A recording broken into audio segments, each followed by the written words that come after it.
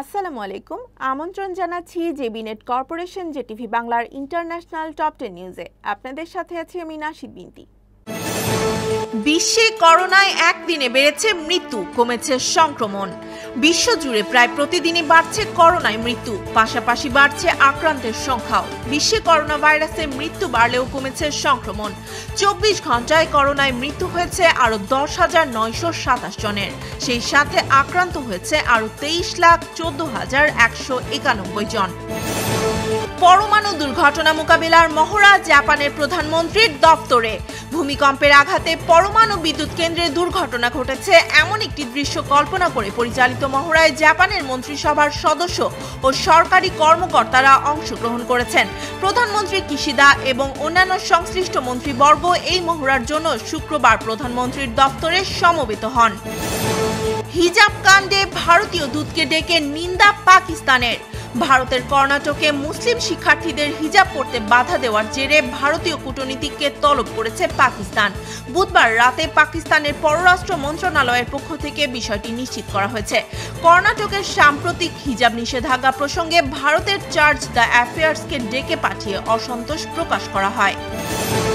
মাদাগাস্কারে ঘূর্ণিঝড়ে নিহত প্রায় একশো বিশ। মাদাগাস্কারে ঘূর্ণিঝড় বাতসিরাইয়ের তাণ্ডবে মৃতের সংখ্যা বেড়ে দাঁড়িয়েছে একশো বিশ জনে। ধ্বংসস্তূপে পরিণত হয়েছে হাজার হাজার বাড়িঘর। বাস্তুচ্যুত হয়েছে আরও ত্রিশ হাজার মানুষ।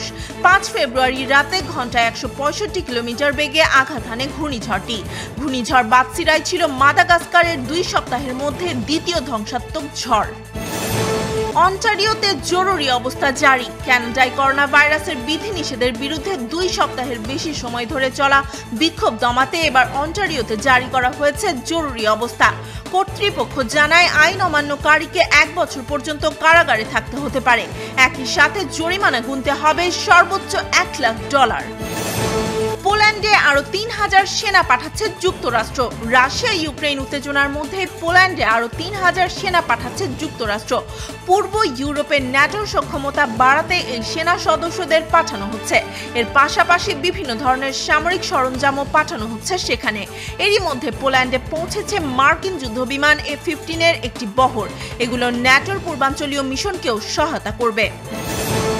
মুসলিম নারী ফুটবলারদের হিজাব পরায় সমর্থন ফরাসি মন্ত্রীর। নারী ফুটবলারদের জন্য নতুন বিধিমালা তৈরি করে দিয়েছে ফরাসি ফুটবল ফেডারেশন। এতে মুসলমানদের হিজাব কিংবা ইহুদিদের কিপ্পার মতো ধর্মীয় পোশাক পরে দেশটিতে প্রতিযোগিতামূলক ম্যাচে অংশগ্রহণ নিষিদ্ধ করা হয়েছে। এই নিষেধাজ্ঞা বাতিলের চেষ্টায় সমর্থন দেওয়ার কথা জানিয়েছেন ফ্রান্সের লিঙ্গ সমতা বিষয়ক মন্ত্রী এলিসাবেথ মোরেনো। দুর্নীতি নিয়ে প্রতিবেদন। মেক্সিকোয় সাংবাদিককে গুলি করে হত্যা। স্থানীয় সময় বৃহস্পতিবার মেক্সিকোর দক্ষিণাঞ্চলীয় রাজ্যে এবের লোপেজ নামে এক সাংবাদিককে গুলি করে হত্যা করা হয়েছে। এ নিয়ে এক মাসেরও কম সময়ের মধ্যে দেশটিতে পঞ্চম সাংবাদিক খুন হলেন। পুলিশ কর্মকর্তারা জানান, নিহত লোপেজ একটি সংবাদ মাধ্যম চালাতেন। তার অফিসে হামলা করেই তাকে হত্যা করা হয়।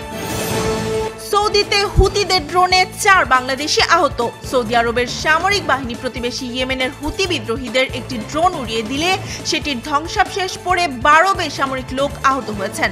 আহতদের মধ্যে চার বাংলাদেশিও রয়েছেন। বাকিরা হলেন এক ভারতীয়, তিন নেপালি, এক ফিলিপিনো, এক শ্রীলঙ্কান ও দুই সৌদি নাগরিক। তাদের বিস্তারিত পরিচয় প্রকাশ করা হয়নি। পুলিশ প্রধানের পদত্যাগেও অখুশি মেয়র সাদিক খান। অপরাধ প্রবণতা বেড়ে যাওয়ায় তীব্র সমালোচনার মুখে পদত্যাগ করেছেন লন্ডনের পুলিশ প্রধান ক্রেসিডা ডিক। তবে এতেও সন্তুষ্ট নয় লন্ডনের মেয়র সাদিক খান। তিনি বলেছেন, জনমনে আস্থা ও বিশ্বাস ফেরানোর মাধ্যমে পুলিশের দায়িত্ব পালন করা উচিত। দর্শক, এই ছিল আজকের টপ টেন নিউজে। চ্যানেলটি ভালো লাগলে লাইক, কমেন্ট এবং শেয়ার করুন। সাবস্ক্রাইব করুন আমাদের YouTube channel JTV Bangla.